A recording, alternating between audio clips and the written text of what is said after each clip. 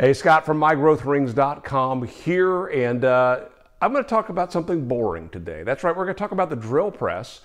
But before we do this, and by the way, I have five tips for you, um, I want to invite you to visit mygrowthrings.com. Now, you may have actually been there before. Um, it's it's the uh, blog I've been writing for almost 20 years.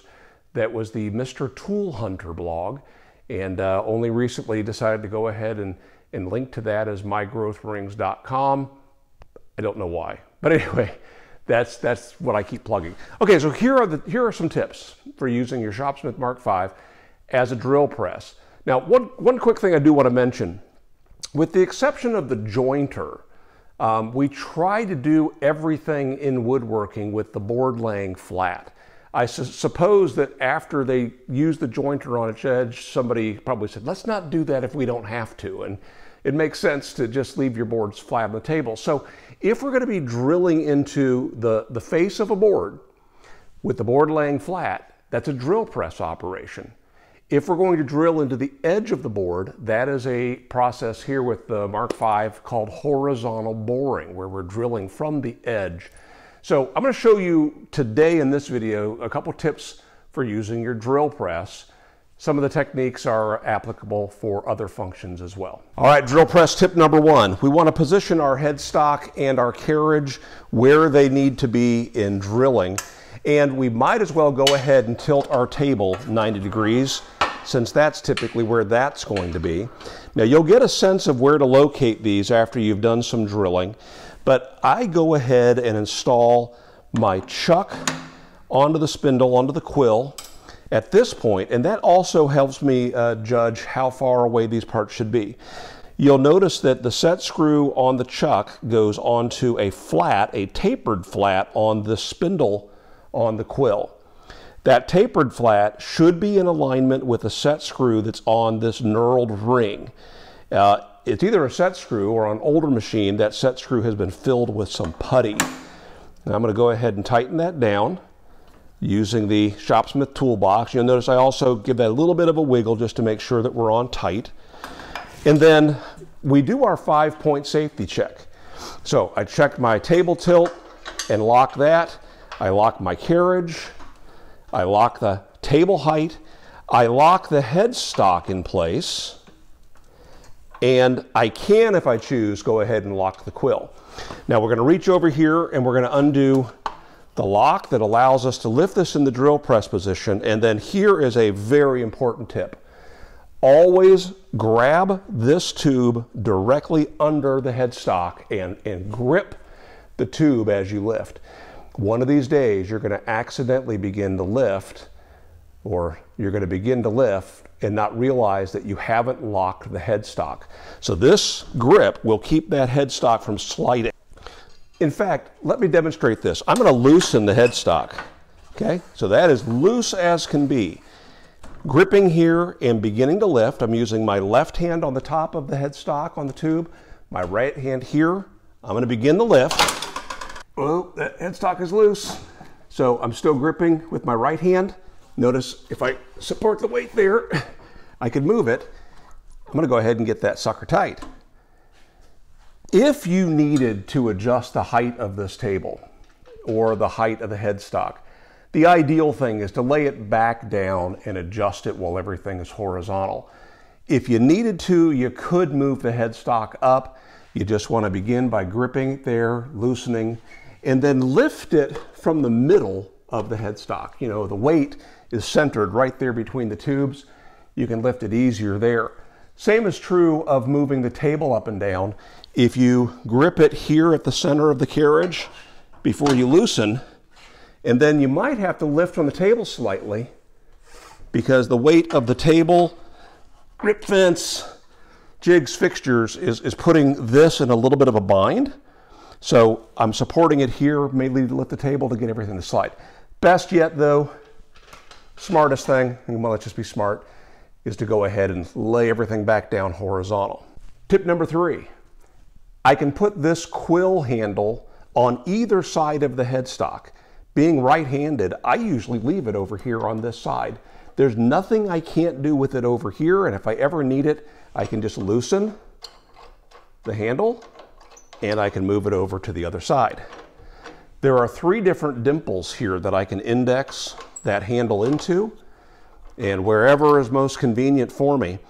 I usually try to set my table and my, my headstock up so that when I'm drilling, I don't have to go all the way around and be pushing up at the point where the drilling action is taking place.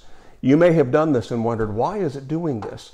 Um, you can position that handle so that the travel here puts you in a position where now you're pulling downward.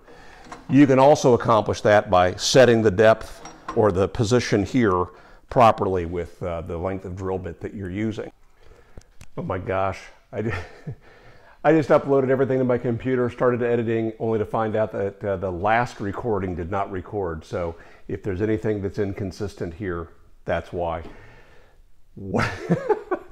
What, I need to tell you is my last tips. Uh, I don't even know what count we're on, so let's just go from here. Um, here we have the, uh, the feed stop, and uh, we use this for a couple things.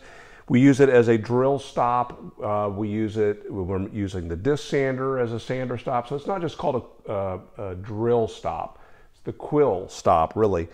And um, one of the ways we can use this, and they can be confusing, you know, a, a, lot of drill presses, including the original version of the Shopsmith, the 10ER, a lot of them have like a threaded rod with a couple little knobs you have to turn, a little jam nuts, and those, those cannot work great. Sometimes they can get loose. This one works fantastic. There's uh, there are three ways that I use this. Um, one of them, you saw me, I, I, accidentally did something in a previous video where um, I, I, as I extended the quill and, and meant to lock it in place, um, just out of sheer habit from when I was repairing these machines, uh, if you turn this all the way to the deepest depth, four and a quarter, I think it is, and then lock it, that will keep that quill at that position. Now, it's not locked, it's just held out. And that can be really handy if you're not drilling to a preset depth. Maybe you're using a stop collar on a drill bit or something like that. You can have that quill closer and the drill bit closer to your stock and then drill to a stop. That's handy.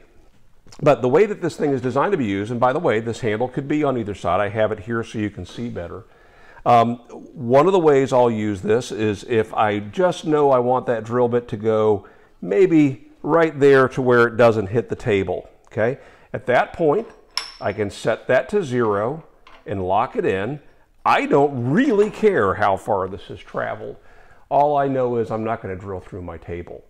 But if I do have to make a crit critical depth, maybe I'm inserting a, a European style hinge or a, a puck light or something like that, um, what I'll do is I will take the, take the drill bit, I can see the dimple I made before, and I'm going to actually press that into the wood.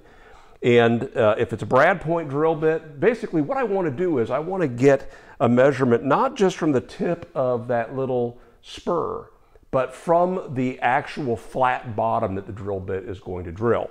On a Forstner bit, that's this lifting surface right here that looks kind of like a chisel or a planer, a plane blade. So I want to get that down to where that's touching the wood. You may even have to turn the drill press on, press it in a few millimeters, and then stop. At that point, I set this gauge for how much further do I want that drill bit to go. So if my goal here is for that to drill a quarter inch or three eighths or half or, or whatever, I just dial that number in. So right here, um, you can see that is the one inch mark. Halfway between zero and one would be the half inch mark. Right there's the quarter inch mark. Let's lock that in. And if I go off to the edge here, you can see that would drill a quarter inch in. Keep in mind, two important things. If my stock thickness changes, if I bring up a two inch thick piece of stock, it's going to drill quite a ways down. So um, I, I, need to reset this for different thicknesses of stock or use a stop collar of some sort. sort. And the other thing you got to watch out for is the buildup of, of sawdust. So if I'm drilling and drilling and drilling and I lay the next piece on top of some dust, that's going to raise it up and uh, cause it to drill deeper. Okay, I don't know how many that is. Let's let's say it's five. That's it for today. I hope that's helpful to you, and uh, appreciate any comments that you have. And uh, let me know where you want us to go from here. All right, make it a great week.